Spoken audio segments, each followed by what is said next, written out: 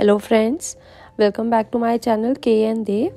Today I am going to show you one game which can be played indoor during quarantine. For this game, we just need cardboard, sheets and colors. We have designed our own innovative board game. Let me show you the feature and how it will be played. This board game can be played by two different players. Each player have their own token to move around.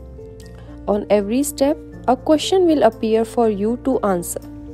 If you get a right answer, only then you will move. In case a wrong answer, then you have moved one number back. This way, you can learn by using this board game. This is the most interesting activity for kids because in this activity, kids are excited what to do next. This activity works on teamwork concentration, and patience.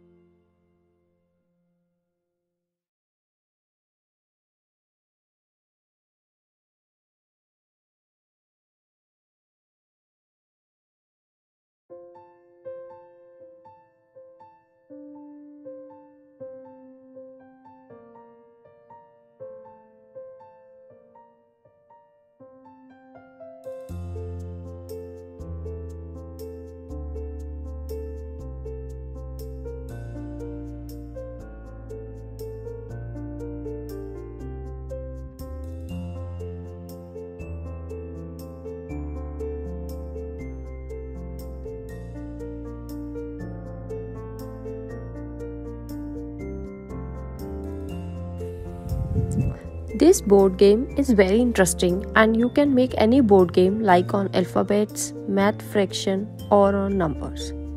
So K is 3 year old and he don't go to school. So we make this board game so that he will learn the basics. This game can be played by 3 to 7 year old. In this game, you can ask different questions written on the board from your child like tell two animals name jump like a monkey, crawl like a baby, sing prayer. So, like this way, kid will learn new words and how to do that.